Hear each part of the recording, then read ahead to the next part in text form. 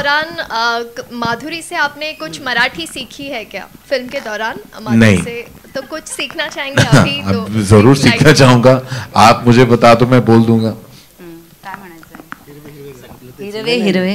हिरवे हिरवे. गार गालीचे. गार गालीचे.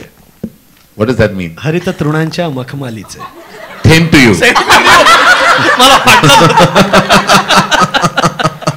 thank you Karan sir Karan sir one Uh, last Karan, last question. अ, माधुरी एक सवाल और कि अ, आप करण जौहर की अगली फ़िल्म कलंक भी करने वाली हैं। पहले श्रीदेवी उसको उनको कर, अ, उस फ़िल्म को करने वाली थी। अनफॉर्चुनेटली वो हमारे बीच में नहीं है। उस फ़िल्म के बारे में अगर कुछ बता पाए स्टार बिल्कुल नहीं वो क्या है? अगले साल अप्रैल में रिलीज़ हो रही है। हम किस महीने में है?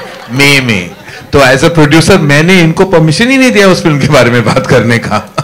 ऑल टाइम वो अभी अगले में अगले अप्रैल में उसका प्रेस कॉन्फ्रेंस होगा तब उस फ़िल्म के बारे में आप ज़रूर पूछेगा अब क्या है इस फ़िल्म का नाम? Bucket list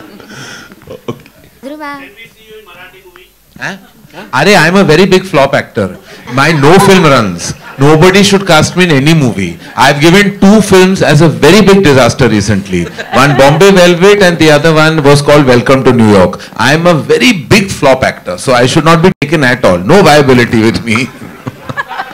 I acted in that also. हाँ चलो as cameo stuff still, but as cameo तो I gave दिल वाले दुल्हन ले जाएँगे. I'm only going by that. अभी अगर देखा जाए रीजनल मूवीज़ में बड़े प्रोडक्शन ज़्यादा करके इन्वॉल्व हो रहे हैं तो उसके पीछे क्या रीजन होगा आपका क्या कहना है पैसा और क्या रीजन हो सकता है मैं झूठ भी बोल सकता हूँ आपको नहीं नहीं बट सर आपको कुछ इट्स वेरी इंपॉर्टेंट क्योंकि क्या है हम हम इत, हर कोई क्रिएटिव इंडस्ट्री जो है ना वो कॉमर्स और आर्ट का मिश्रण होता है। तो हम जानते हैं कि आर्ट को बेचना उसे कॉमर्स बोलते हैं। तो आई रियलाइज़ के there is tremendous potential in all the cinemas where हम अच्छा कॉन्टेंट भी दे सकते हैं ऑडियंसिस को, और एक और ज़रिया हो जाता है to actually add to your entire balance sheet at the end of the year तो हमारा यह है कि हम चांस पे डांस वाले होते हैं, हम बिजनेसमैन होते हैं। तो हम जहाँ आपने मौका देख लिया, हमने वहाँ चौका मारने की, हमने हमने उम्मीद रख ली।